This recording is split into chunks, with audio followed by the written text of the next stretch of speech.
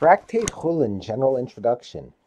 The name of this tractate, Chullin, literally ordinary or profane, refers to things that are ordinary in the sense of not being sacred.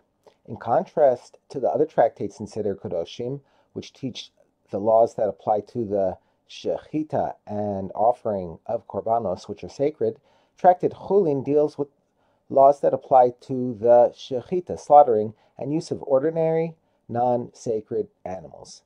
This tractate was originally known as Shechitat Chullin, the Shechita of ordinary animals.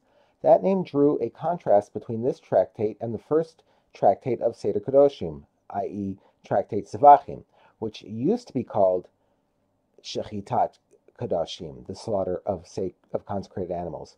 Over time, however, these tractates became known as Hulin and Zevachim, respectively.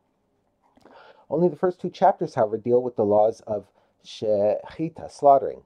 Each of the other chapters discuss discusses a different subject that is relevant to ordinary animals. The third chapter deals with the laws of tereifah, an animal with a fatal defect that makes it forbidden to be eaten even if it is properly slaughtered. The fourth chapter deals with laws that pertain to the fetus of a slaughtered animal. The fifth with the prohibition against slaughtering an animal and its offspring on the same day. The sixth with the obligation to cover the blood of a slaughtered chaya, non-domesticated species of animal or bird. The seventh with the prohibition against eating the gid hanashe, the sinew of the thigh.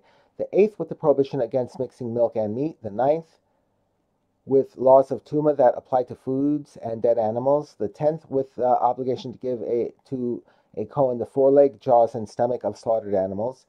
The eleventh with obligation to give a kohen part of the wool that was shorn off one sheep and the twelfth, with the prohibition to take a bird together with its eggs or fledglings from a nest. A short introduction to each subject can be found at the beginning of its chapter.